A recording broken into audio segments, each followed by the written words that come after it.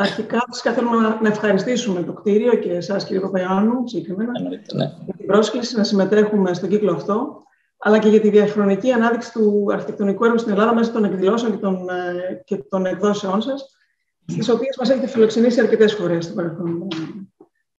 Ε, είμαστε οι 3H Architects, αφού με το ονομάσαμε σχετικά πρόσφατα το αρχικό HHH Architects.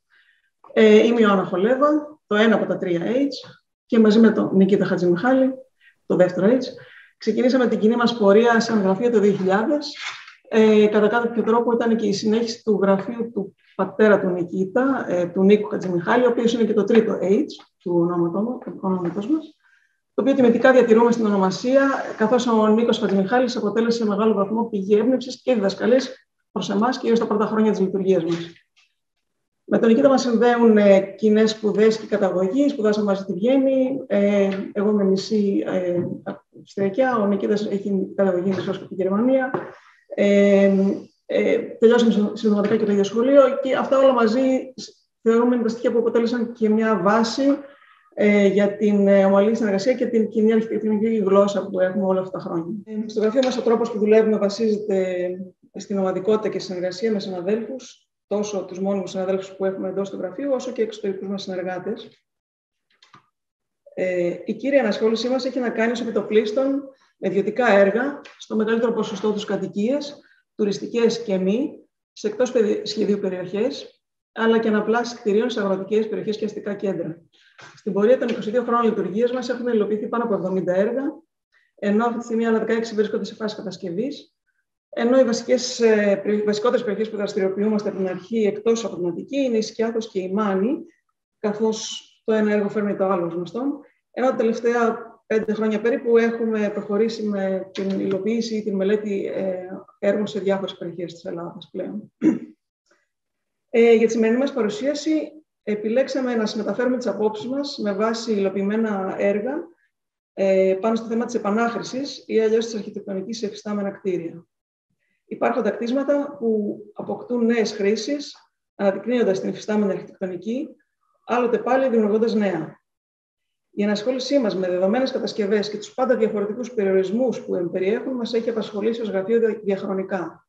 Αλλά θεωρούμε ότι η ανάπλαση και η αποκατάσταση είναι ένα θέμα που θα μας αφορά όλο και περισσότερο στο μέλλον. Καλούμε να αξιοποιήσουμε το κτηριακό απόθεμα των γερασμένων μη λειτουργικών κτηρίων των πόλεων και οικισμών. Μέσω επιλεγμένων έργων μας των τελευταίων 15 ετών ε, σε αγροτικές και αστικές περιοχές της Ελλάδας, πάνω σε διαφορετικές περιπτώσεις αρχιτεκτονική, σε εφιστάμενα κτίρια, θα σας περιγράψουμε τις βασικές μας αρχές στο θέμα της επανάχρηση. Ε, επιγραμματικά, οι αρχές αυτές είναι ε, η διατήρηση και η ανάδειξη της ιδιαίτερης ταυτότητας του υφιστάμενου, ένθετα στοιχεία με διακριτές επεμβάσεις, προσθήκες, η συνύπαρξη του παλιού με το νέο, και η δημιουργία μιας νέας αρχιτεκτονικής ταυτότητας ή εξυγχρονισμός και αναγέννηση του υπάρχοντος. Ε, σχετικά με την πρώτη αυτή κατηγορία, διατήρηση και ανάδειξη της ιδιαίτερης ταυτότητας του υφιστάμενου, ε, το πρώτο χαρακτηριστικό παράδειγμα που θα σας δείξουμε αφορά την ανάπλαση μιας ερυπωμένης κατοικίας στο Λεύκτρο, έναν παραδοσιακό οικισμό της Μεσσηνιακής Μάνης, και την οποία και διακριθήκαμε με το πρώτο βραβείο στις δομές του 2013. Συγγνώμη ένα χάλασμα από μινάρι μιας τυπικής μανιάτικης κατοικίας εντός οικισμού, στην οποία το πρώτο μας μέλημα υπήρξε η αποκατάσταση, ε, της, η αποκατάσταση του, του, του, της κατοικίας, αναδεικνύοντας τα ιδιαίτερα χαρακτηριστικά, όπως είναι ο θόλος του ισογείου, η εμφανής τετράρικη στέγη, το λιακωτό, τα ανοίγματα των όψεων με τους μαρμάριους γωνιόλιθους και η εσωτερική αυλή εισόδου. Η υπάρχουσα κατοικία αναδεικνύεται εκ νέου με τα τοπικά χαρακτηριστικά της μετά από σχεδόν έναν αιώνα στο κέντρο του οικισμού του Λεύκρου. Αντίστοιχο παράδειγμα βρίσκουμε σε μια επίσημη νιάτικη κατοικία εντός του παραθαλάσσιου οικισμού της Τραχύλας. Και εδώ συναντάμε το θέμα της διατήρησης και ανάδειξης του υπάρχοντος και λίφου, συμπεριλαμβανομένης της κεραμοσκευή και του θόλου στο κατόι. Με την κατοικία αυτή ε, πήραμε και το δεύτερο βραβείο στο διαγωνισμό του ΣΑΔΑΣ 2011 για την αρχιτεκτονική σε αγροτικούς οικισμούς.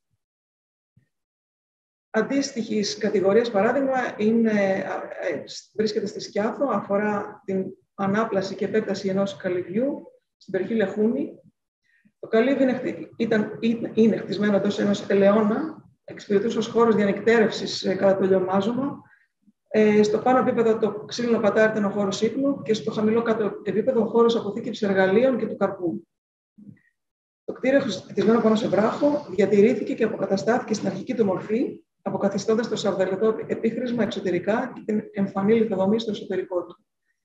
Τα αρχικά ανοίγματά του παρέμειναν και η τετράρεκτη ξύλινη στέγη με το ενδιάμεσο ξύλινο πάτωμα κατασκευάστηκαν εκ νέου. Το επόμενο παράδειγμα, πάμε σε άλλο είδου έργο, αφορά την αποκατάσταση και ανακαίνιση του ξενοδοχείου Αλκιών στη Σκιάθο. Έργο... Και αυτό με στο ίδιο πλαίσιο της ανάδειξης, της, ανάδειξης της, ε, του αρχικού χαρακτήρα του αρχικού. Ε, αυτό το έργο είναι μάλιστα έργο του, του Νικήτα Χατζημιχάλη. Του Νίκου. Του, του Νίκου Χατζημιχάλη. ε, των γονιών του Νικήτα στην ουσία. Από τα μέσα της δεκαετίας του 70 στα πρότυπα των, των ξενία της εποχής Δημοσιευμένο επίση τα αρχιτεκτονικά θέματα, όπου βλέπουμε δημοσίευση και στη Βιενάλη της Βενετία. Το ξενοδοχείο υπέστη ενδιάμεσες ανακαινήσεις και μετατροπές από τους διάφορους ιδιοκτήτες, οι οποίοι είχαν αλλοιώσει σημαντικά αρκετά από τα αρχικά αρχιτεκτονικά χαρακτηριστικά. Το δικό μας ζητούμενο ήταν να επαναφέρουμε την αρχική και διαχρονική ταυτότητα του κτηρίου, προσαρμόζοντας μόνο τις νέες ανάγκες που είχαν στο μεταξύ προκύψει. Εξωτερικά, εκτός από την καθαίρεση όλων των πρόσθετων στοιχείων, οι νέες επεμβάσεις εντοπίζονται κυρίως στην ολική ανάπλαση της κύριας πρόσωψης της πέρυδα των υπνοδωματίων που βρίσκονται επί του δρόμου, την αντικατάσταση της υπάρχουσας πέρκολα του δώματος με νέα, καθώς και τη δημιουργία μιας νέας υπαίθριας κλίμακας και ρεύμα αμαία στην κεντρική είσοδο. Η νέα πέργολα διατήρησε το χαρακτηριστικό κάναβο της αρχικής, καθώς και τις κατακόρυφες προεκτάσεις προς του βεράντε των δωματίων, όπου μαζί με τον φωτισμό, τα νέα κάγκελα και την προσθήκη ξύλων επενδύσεων και διαχωριστικά των δωματίων συνθέτουν τη νέα πρόσωψη του ξενοδοχείου. Τέλος, το ξενοδοχείο βάφτηκε εξωτερικά, ακολουθώντας τις αποχρώσεις που είχαν επιλεγεί και αρχικά, τα οποία ανακαλύψαμε τυχαία μέσω μιας παλαιάς κάρτα ποστάρι. Ε, ναι. Σαν ε, ε, επόμενη κατηγορία είναι ε, μια ε, αφορά στην διάκριση, διακριτή χρήση των νέων επεμβάσεων. Οι σύγχρονες λειτουργικές απαιτήσεις είτε είναι ενισχύσεις του τοπικού φορέα, είτε αφορούν άλλα στοιχεία όπως ηλεκτρομηχανολογικέ εγκαταστάσεις, συνδετικά στοιχεία, κλιμακοστάσια, μας οδηγούν σε ενέργειες που θέλουν να είναι διακριτές. Ένθετα στοιχεία όπως οι μεταλλικές κατασκευές στην κατοικία στο Λέτσικο της Μάνης, που συνδείξαμε νωρίτερα, όπως ο νέος ενδιάμεσος όροφος, το νέο κλιμακοστάσιο, η επέκταση της βεράντας του Λιακωτού με την εξωτερική μεταλλική κλίμακα, και η σύνδεση του ορόφου με τον περιβάλλοντα χώρο μέσω μιας μεταλλικής γέφυρας. Επεμβάσεις που επιτρέπουν την ανάγνωση του υπάρχοντος και, τη διά... και την διάκριση των σύγχρονων στοιχείων. Επόμενο έργο σε αυτή την ε, τυπολογία αφορά μια τυπική κατοικία των αρχών του 20ου αιώνα στην πόλη της Κιάβη. Για την σύγχρονη τουριστική χρήση του κτηρίου, απαιτήθηκε ο επιμερισμό της επιφάνειας του ορόφου σε μικρότερα διαμερίσματα και η κατασκευή επιπλέον χώρων υγιεινής και κουζινών. Οι λειτουργίες αυτές μπήκαν ως ένθετα ξύλινα κουτιά εντός των χώρων. Η ροφή τους είναι βατή και χρησιμοποιείται ως ανοιχτός χώρος ύπνου. Σε παρόμοια λογική, στην Αθήνα τώρα η ανάπλαση ενός ολόκληρου ρόφου στην οδό Εόλου. Το ζητούμενο ήταν η μετατροπή του τέο βιοτεχνικού χώρου σε έξι διαμερίσματα βραχυχρόνιας μίσθωση. Καθώς δεν υπήρχε αντικείμενο διατήρηση υλικών ή της υπάρχουσας διάταξης, κρίθηκε αναγκαίο ο επαναπροσδιορισμός του χαρακτήρα της επέμβασης με μια νέα αξιονομία ικανή να παραλάβει την καινούργια λειτουργία. Ένας ανοιχτός χώρος, στον οποίο μετά τη διαμερισμάτωσή του τοποθετήθηκαν έγχρωμοι κύβοι που σηματοδοτούν τον χώρο ύπνου. Κύβοι τοποθετημένοι υπό διαφορετική κάθε φορά γωνία ως νέα έμπειτα στοιχεία εντός των ανοιχτών χώρων.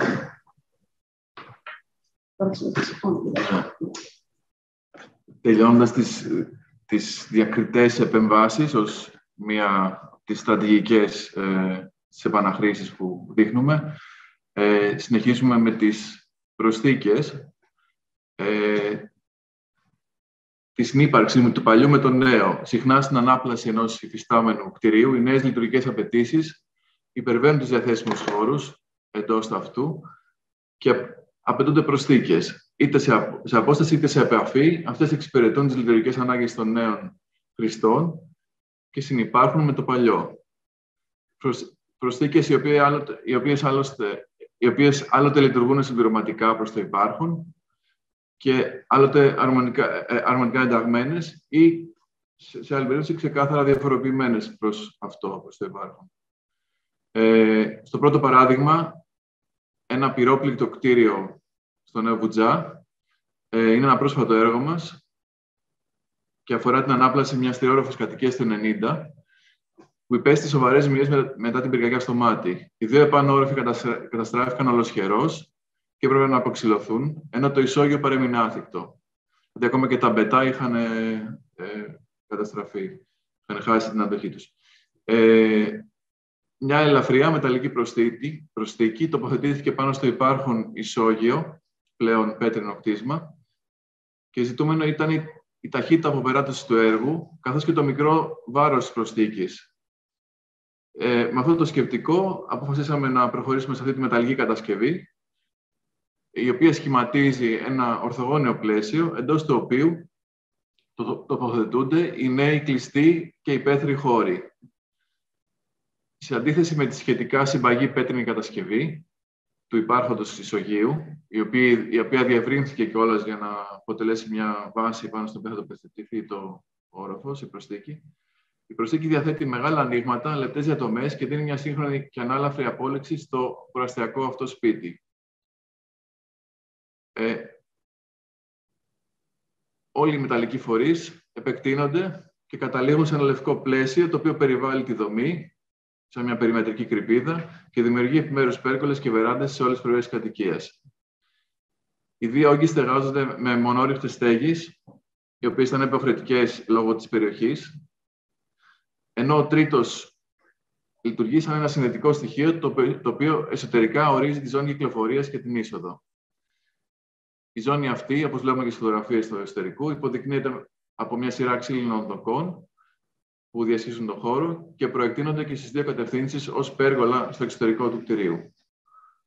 Βλέπουμε εδώ μια, προσθήκη, μια περίπτωση προσθήκης, στην οποία ε, η προσθήκη συνεπάρχει με το αρχικό κτίσμα, δημιουργώντας μια νέα αρχιτεκτονική. Δηλαδή, το αποτέλεσμα είναι πλέον μια νέα αρχιτεκτονική. Ε, άλλο παράδειγμα σε αυτή τη κατηγορία των προσθήκων αφορά ε, στο διόροφο καλύβι που είχαμε δείξει και νωρίτερα, στα πλαίσια της ανάδειξης του υπάρχοντος. Ε, οι απαιτούμενοι πρόσθετοι χώροι στεγάζονται σε μια μεταλλική κατασκευή, η οποία δράζεται πάνω στην πέτρινη βάση της βεράντας, όπως βλέπουμε στη φωτογραφία. Το εσωτερικό της κατασκευής ε, της προσθήκης αυτής ε, εξ ολοκλήρου ανοιχτό, μεταλλικές διατομές με ελοπίνακες, ανοίγεται προς τη θέα και έρχεται σε αντίθεση με το μονολυθικό υπάρχον διόροφο καλύβι. Και πάλι δημιουργείται ένα αρχιτεκτονικό σύνολο στη βάση της αντίθεσης του νέου μεταλλικού και του υπάρχοντος πέτρινου κτίσματος. Ε, και το επόμενο παράδειγμα από τη Σκιάθο, ε, πρόσφατο έργο, είχε δημοσιευθεί και στο κτίριο. Το επόμενο θέμα μας αφορά στη διόρροφη κατοικία που αναφέραμε νωρίτερα, ε, με πολύ περιορισμένο χώρο εντός του οικοπαίδου, ο οποίος περιορισμός αυτός μας οδήγησε σε μια, σε μια προσθήκη σε μικρή απόσταση από το υπάρχον. Δημιουργώντας έτσι δύο επιπλέον αυλές. Μία προς το καλτερίμι, όπου βλέπουμε και τα, την άρνηση των τραπεζοκαθισμάτων, και μία στην πίσω πλευρά. Μοναδικό συνδετικό στοιχείο των, του του παλιού, του υπάρχοντος και του νέου, είναι αυτή η ξύλινη κατασκευή, η οποία προϋπήρχε και επεκτάθηκε προς το, ως γέφυρα στο νέο κτίσμα.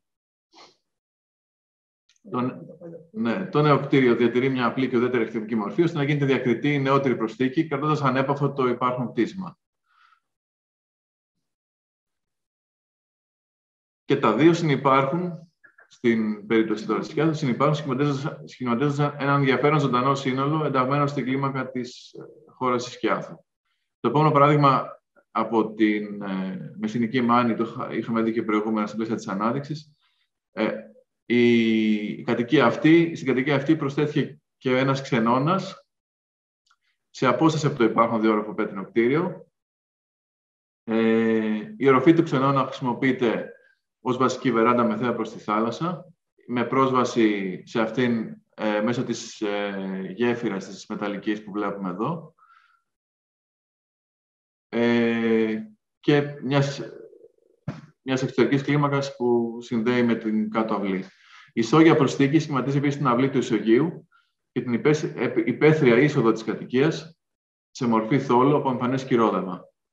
Και εδώ, και εδώ Όπως και το προηγούμενο παράδειγμα, η προσθήκη συμπληρώνει αρμονικά την υπάρχουσα κατοικία και δημιουργεί ένα νέο αρχιτεκτονικό σύμπλεγμα εντός του οικισμού της Τραχύλας, του παραδοσιακού μανιάτικου οικισμού της Τραχύλας. Ε, η, επόμενη αναφορά είναι και πάλι μια κατοικία στη Μάνη, ε, στην οποία προσθέθηκε ένα διόρροφο κτίσμα σε επαφή με το υπάρχον αυτή τη φορά. Είναι πολύ πρόσφατο έργο. Ε, η προσθήκη στεγάζει την εσωτερική σκάλα, τη σύνδεση δηλαδή των δύο επίπεδων και έναν μικρό ξενώνα. Για την κατασκευή της χρησιμοποιήθηκαν μεταλλικά φέροντα στοιχεία. Το νέο κέλυφος ε, φέρει λευκό επίχρησμα, κουφώματα αλουμινίου στην ίδια απόχρωση με τα μεταλλικά στοιχεία σχηματίζοντας μια ενότητα μαζί με τα ξύλινα σκιάδια. Ε, στη συνέχεια του ορόφου του ξενώνα προσθέθηκε η πισίνα, η οποία ακολουθεί το τραπεζοειδό σχήμα της αυλής. Γύρω από την πισίνα βρίσκεται και βασικός υπαίθριος χώρος με θέα προς τα γειτονικά κτήματα του φορείου και, και τη θάλασσα. Στο ιστορικό της κατοικία διατηρεί εμφανή τη στέγη και τη λιθοδομή, με χώρους ενιαίους, ε, διατηρώντας ελάχιστα χωρίσματα. Και σε αυτή την προσθήκη και σε αυτή την περίπτωση η προσθήκη αναδεικνύει και συμπληρώνει το υπάρχον, δημιουργώντας παράλληλα ενδιαφέροντε ενδιάμεσους χώρους αυλών και βεραντών. Η, θρέα, η θέα καδράρεται μέσα από μεταλλικά πλαίσια και τους εξωτερικούς τοίχου των κτισμάτων της κατοικίας και των γειτονικών κτισμάτων. Ε, η επόμενη κατηγορία που διακρίναμε στο χειρισμό της επανάχρησης αφορά στις περιπτώσεις τι οποίες οι επεμβάσεις μπορεί να είναι τόσο ριζικές, ε, όπου ως αποτέλεσμα ε, να έχουμε ένα νέο κτίριο, μια νέα αρχιτεκτονική εντός του υπάρχοντος και λίφους ή μια αναγέννηση του παλιού. Σαν πρώτο θα αναφέρουμε ένα ξενοδοχείο στον Πειραιά, στην Καστέλα, το ξενοδοχείο Διάλεξ. Το υπάρχον κτίριο λειτουργούσε μέχρι και προδεκαετία ως ξενοδοχείο, ε, σε ένα κτίσμα το οποίο αποτελούσε τυπικό δείγμα πολυκατοικίας του 70, χωρίς ιδιαίτερα χαρακτηριστικά αρχιτεκτονικά, είχε υποστεί μια ανακαίνιση προ 20 ετία με τη χρήση επενδύσεων αλουμινίου, μπερδεύοντας ακόμα περισσότερο τη λειτουργική του ταυτότητα. Ε, η αρχιτεκτονική του υπάρχοντος ήταν, κατά τη γνώμη μας, ασύμβατη με τη χρήση του κτηρίου του ξενοδοχείου και παρέπευε σε ένα μείγμα πολυκατοικίας, κτηρίου γραφείων, χωρίς να παρουσιάζει κάποιο ενδιαφέρον. Συνολικά, η επέμβαση που πραγματοποιήσαμε στοχεύει στη δημιουργία μιας νέας ταυτότητας σε μια περιοχή που αναπτύσσεται ξανά. Πρόκειται για μια σχεδιαστική λογική, στην οποία δεν είναι διακριτό το παλιό, αλλά δημιουργείται κάτι νέο. Παράλληλα, μέσω της κλίμακας και της επανάληψης, στοχεύει στο λειτουργικό επαναπροσδιορισμό του κτηρίου ως κομμάτι του αστικού ιστού και στην ανάδειξή του σημείο αναφοράς της περιοχής. Το στοιχείο που αναγνωρίστηκε ως ιδιαιτερότητα του έργου είναι αυτό της τοποθεσίας του κτηρίου, με μια, μια εντυπωσιακή πανοραμική θέα, σε περίπτωση θέση, έδωσαν τον, έδωσαν τον κατευθυντήριο άξονα στον οποίο κινήθηκε η μελέτη. Η ιδέα του καθαρίσματος της θέα μεταφράστηκε σε επίπεδο όψης σε ένα τριζάστατο κάναβο, ο οποίος ορίζεται από τη μονάδα το δωμάτιο. Το πλαίσιο του κάθε δωματίου ανοίγεται προς τη θάλασσα, δημιουργώντας μια χωάνια εσοχή που λειτουργεί ως διαχωριστικό και παράλληλα, ε, παράλληλα δίνει ρυθμό και κλίμακα στην όψη, ενώ προσδίδει μια πλαστικότητα σε ένα απλό κατά τα άλλα κτίριο.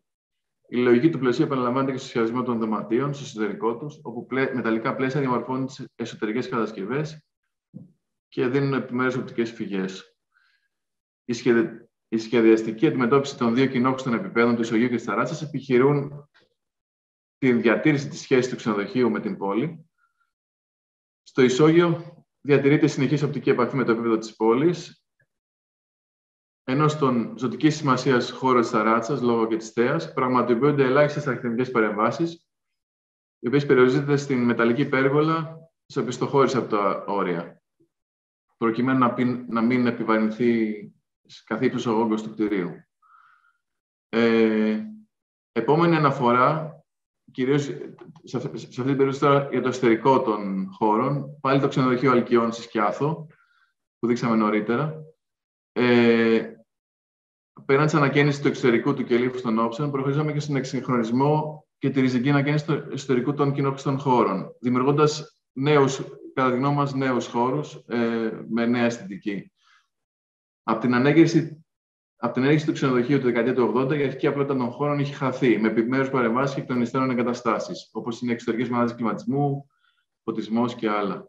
Οι χώροι μετά την ανάπλαση αναγεννήθηκαν τόσο αρχιτεκτονικά όσο και από πλευράς εξοπλισμού και διακόσμησης και επανήλθαν σύγχρονοι και προσαρμοσμένοι στην ανάγκη του ξενοδοχείου, στο ύφος του αρχικού, με στοιχεία της εποχής μας σε αρμονία με αυτά του προπάρχοντο. Στο εσωτερικό των κοινόχρηστων χώρων του Ισογείου, το, το εσωτερικό των κοινόχρηστων χώρων του Ισογείου ανακοινήθηκε εξ ολοκλήρου. Στα περισσότερα σημεία διατηρήθηκε να αναδείχθηκε η υπάρχουσα κτηριακή δομή, όπως οι εμφανείς πατνοματικέ οροφές, ενώ έγινε αντικατάσταση όλων των ταπέδων και αναδιαμορφώθηκε η ρεσεψιόν, το καθιστικό και το μπαρ. Ε, Στους εσωτερικούς χώρους χρησιμοποιήθηκαν υλικά, όπως είναι το κότο που βλέπουμε στη φωτογραφία, φυσικές πλάκες πηλίου, όπως ήταν στην προηγούμενη φωτογραφία, ε, ξύλινα καφασωτά, επαναφέροντας και υλικότητες και σύγχρονες αλλά και υλικότητες της εποχής του 70, όπως το κότο, κατά τη γνώμη μας, ή τη πλάκα πηλίου. Ε, σε όλες τις σε όλες τις παρεμβάσεις, κλείνοντας με αυτό, σε όλες, σε όλες τις περιπτώσεις των επαναχρήσεων μετά την, και μετά την ολοκλήρωσή τους, ενδιαφέρον έχει για μας και ο, και ο αντίκτυπος που επιφέρει η παρέμβασή μας στο δομημένο περιβάλλοντα χώρο του οικισμού, επαρχιακού ή αστικού. Η, αναγέννηση και επαναλειτουργία καταλημμένων δομών, η προσθήκη σύγχρονων δομικών στοιχείων ή ακόμα και χρήσεων, όπως για παράδειγμα μια πισίνα εντός ενός οικισμού της Μάνης, ο αντίκτυπος είναι διαχρονικός. Τον βιώνουμε μέσω ποικίλων αντιδράσεων και συνεχίζουμε. Συχνά εντοπίζεται ως μίμηση και επανάληψη των στοιχείων σε άλλα κτίσματα του οικισμού. Επανάληψη και ως προς τις χρήσεις. Η τουριστική χρήση μιας κατοικίας γίνεται μεταδοτική. Τα εγκαταλειμμένα σπίτια αποκτούν πάλι χρήση. Άλλοτε πάλι ο αντίκτυπος εντοπίζεται ως πρόκληση λόγω της χρήσης μοντέρνων μη παραδοσιακών υλικών και στοιχείων σε συνδυασμό βέβαια με τα, με τα υπάρχοντα στοιχεία των κτισμάτων. Ναι, για μας το, το αντικείμενο της επανάχρησης είναι μια αγαπημένη πρόκληση κάθε φορά και αγαπημένο θέμα του γραφείου, διαχρονικά. Μας ακολουθεί στην ναι, πορεία ως τώρα. Λόγω και των περιοχών που δραστηριοποιούμαστε. Είναι μικρότερα έργα, αλλά που έχουν τη σημασία τους. Ελπίζουμε να βρήκατε ενδιαφέροντα στοιχεία σε αυτά